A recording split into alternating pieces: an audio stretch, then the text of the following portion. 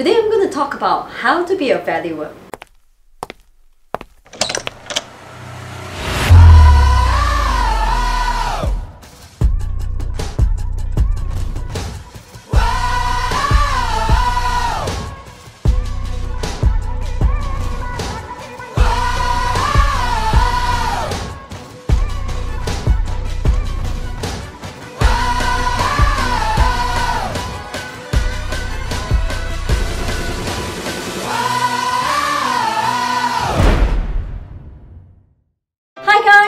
Welcome to my YouTube channel. Today we are going to talk about how to be a valuer just like me. Now before that, if you have not subscribed to my YouTube channel yet, please click on the subscription button and also the notification button.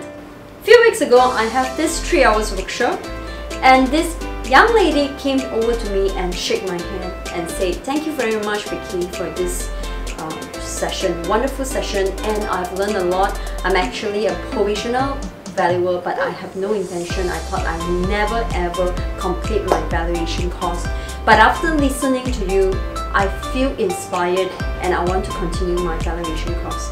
And at that moment in time, I think, you know what?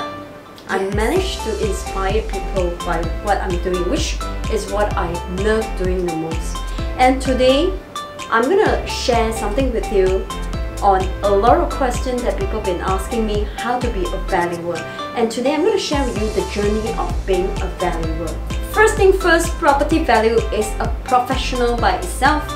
So you can't just become a valuer without a proper academic qualification. So what kind of academic qualification that you need to have before you become a valuer? You have to have a three years degree in property management or any relations to real estate degree that is recognized by the board. Now, long, long time ago, while I am doing my valuations, when I started off, I actually have uh, two choices. One is UM, the other one I think is UITM or I couldn't remember. But there's only two universities that offer this course 10 over years ago. And I was given a chance to go overseas to study and I chose to study in UK. So I studied in University of West of England, very focused on property development. This university itself actually focused so much on construction work and also property work. The course that you study must be recognized by the board. Then after you graduate, you will have to do on two years practical. Yes. This two years practical is something like a chambering for law student, but this is for valuers you have to work with a valuation firm for at least two years. After two years, you have to write your logbook every single day on what you do every single day. And after that, two years later, the hardest part is the oral exam. Now, what is this oral exam about? All the times that we have examination, the examiner is not in front of you. But when you have examiners right in front of you, it tends to be really, really tense. Not just one, but three right in front of you, asking you a lot of questions about how much you know about your industry. After that, after this examination, once you pass this examination, then only you will have your license. Now this oral exam is very difficult because it can ask you any questions that comes to the examiner mind and it is not easy to pass. There are many people who fail a couple of times before they got into their license. Now, although it's very hard to pass your valuation exam, it has got a plus point. You don't have a lot of valuable in markets. In the whole entire market, you at most you have like thousand over people that are valuers, but it is not easy to be valuer.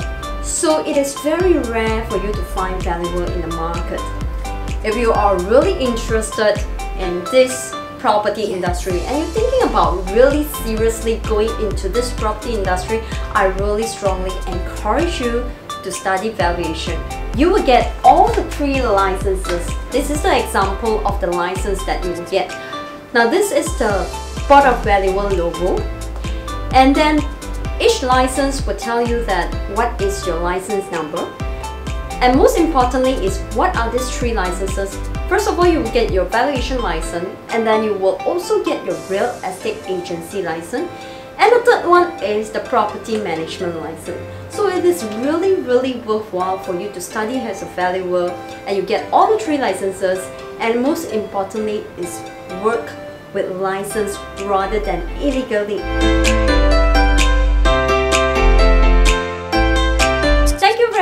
For watching this video. I hope you learned something new about how to become a valuer today.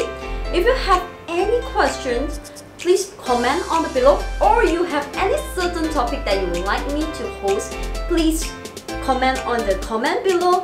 And if you like this video and you find this video, you learned something from this video, please like the button and share the button out so that more people can learn as much as you do. Thank you very much once again and I'll see you next week. Bye!